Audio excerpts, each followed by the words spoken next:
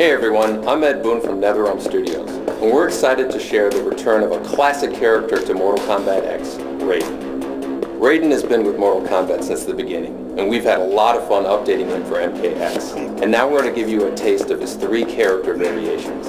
In MKX, Raiden finds himself with many of his allies dead or gone, leaving him to face Kotal Khan, a new emperor who has taken over Outworld. You have no chance, Thunder God. Thunder blots out the sun. Temporarily. The Thunder God variation enhances Raiden's lightning attacks, allowing him to string together longer combos and do more damage.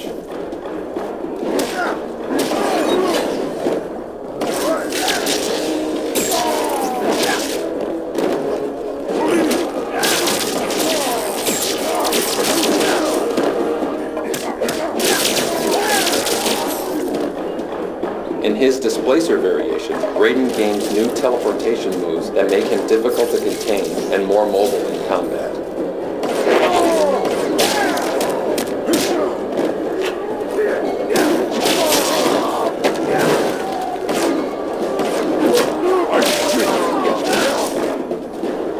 And finally, Stormlord Raiden can create lightning traps with wide areas of effect that allow him to control the battlefield.